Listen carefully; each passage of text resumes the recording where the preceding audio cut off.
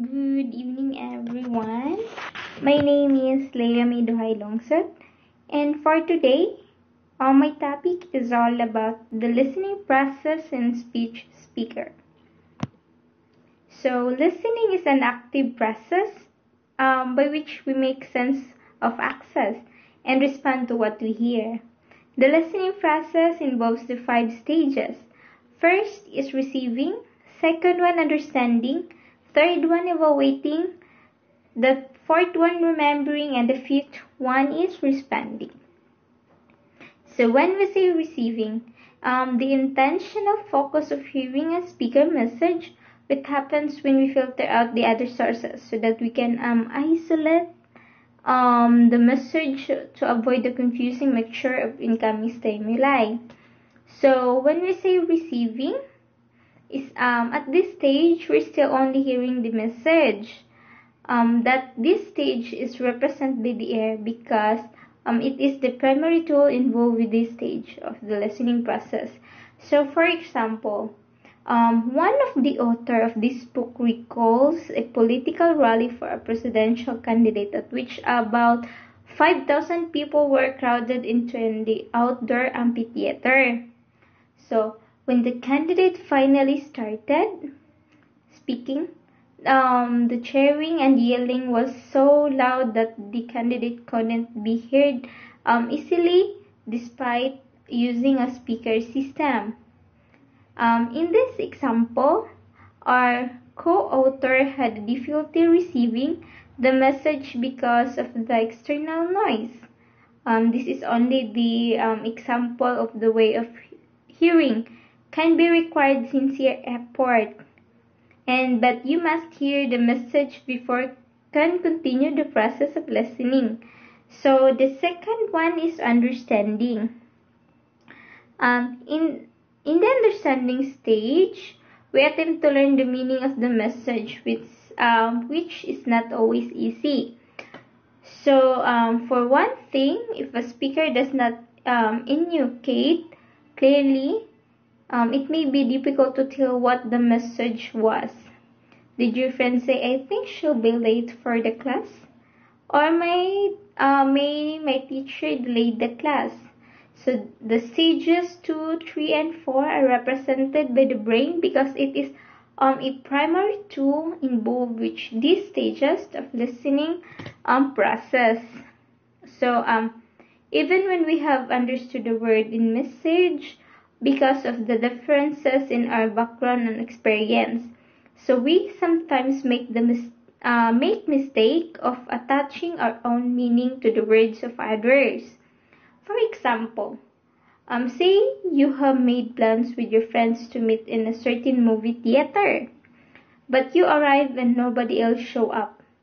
Eventually, you find out that your friends at the different theater at all the way across the town where the same movie is playing.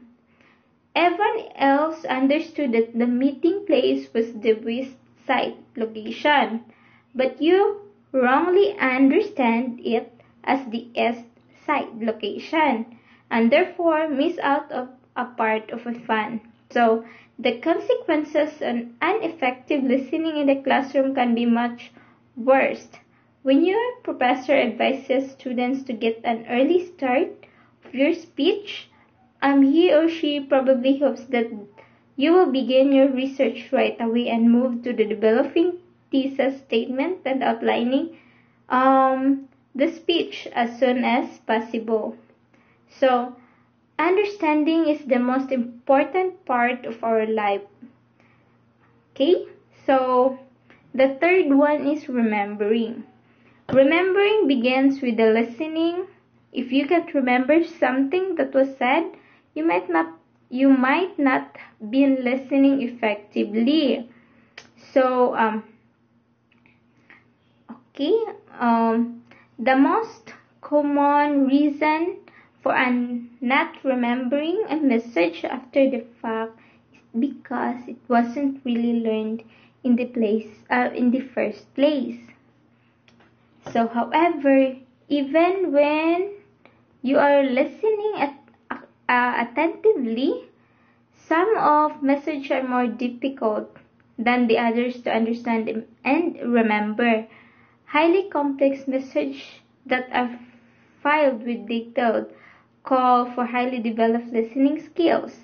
Moreover, if sometimes distracts your attention, even for a moment, you could miss out the information that explains other new concept you hear when you begin to listen, uh, listen fully again. So, it is also important to know that can um, improve your memory of a message by processing it meaningfully. That is, by applying it the way that are meaningful to you.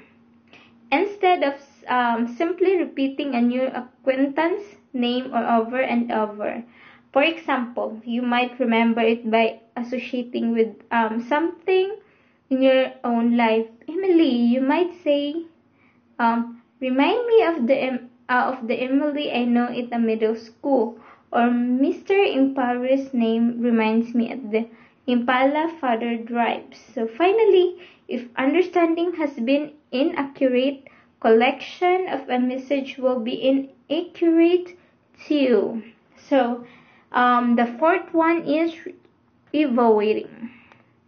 So when we say evaluating or judging the value of the message, so um, we might be thinking um, this makes sense or conversely this is very odd because everyone embodies biases and perspective learned from widely diverse sets of um, life experience.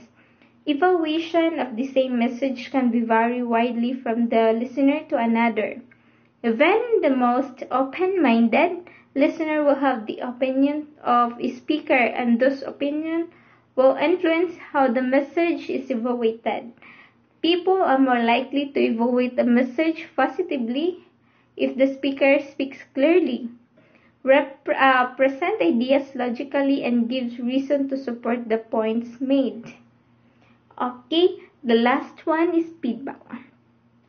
Okay, responding sometimes referred to as a feedback.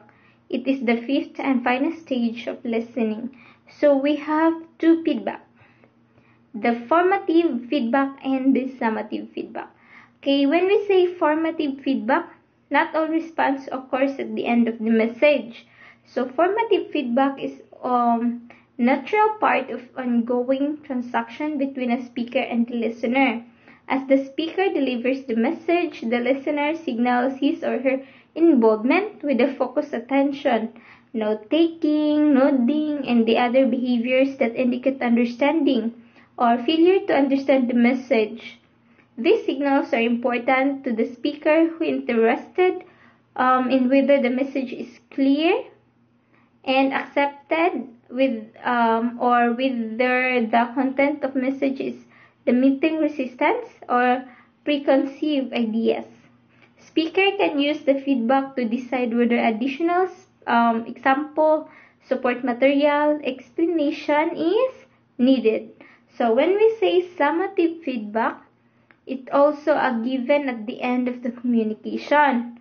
When you attend a political rally, a, a presentation given by the speaker you admire, or even a class, there are verbal and nonverbal ways of indicating your appreciation for your disagreement with the message of the speaker at the end of the message. So maybe you'll uh, stand up and applause of your speaker agreed with or just um, sitting down staring at the silence after listening speaker you didn't like. In the other cases, um, a speaker may be attempting to persuade you to donate a charity or if the speaker passes a bucket and you make a donation, you are providing feedback on the speaker effectiveness. At the same time, we don't always listen most carefully to the message of the speaker we admire.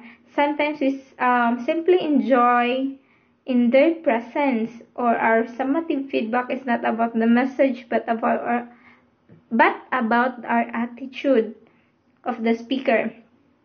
If your feedback is limited to something like, I just love your voice, you might be indicating that you did not listen carefully to the content of the message. So, this is a little doubt that by now you are beginning to understand the complexity of listening and the great potential of errors. By becoming aware of what we um, is involved with active listening and where difficulties um, might lie, you can prepare yourself both as a listener as a speaker to minimize listening errors when you're on public speeches. Okay, so we proceed to the next topic, commercial advertising. Commercial advertising allows your business to build its customer base by taking your message directly to customer. It allows you to control the message, whether you intend to inform the public about your company existence, educate customer about your offerings, build your brand identity, or demonstrate where your competitors fail to make the grade. Okay, so commercial advertising lets your target audience know that you exist and that you have the products and services that you can solve a problem of their lives. If you're offering the distinctive product services of a value proposition to the customer, commercial advertising is a way to get the word quickly and more broadly than through referrals from existing customers or waiting for people to find by the chance.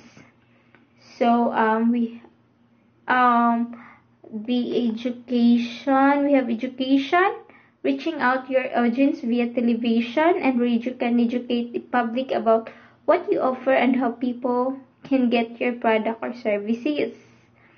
So we have also branding particularly for a low uh, involvement buying decision for customer just want to complete quickly a positive expression of your brand and what it um, stand for can be central ingredients that genera- uh, generate sales. So okay so we proceed to the um, next topic is all about campaign. So when we say campaign is a plan to set activities that people carry out over a period um, of time in order to achieve something such as public speaking, social or political change. So when we say um, campaign is systematic courses, aggressive activities for some specific purposes. Okay, purposes. A sales campaign that competition by viral political candidates and organization for public. Okay, so okay guys, thank you for listening. That's all. Thank you. Bye bye.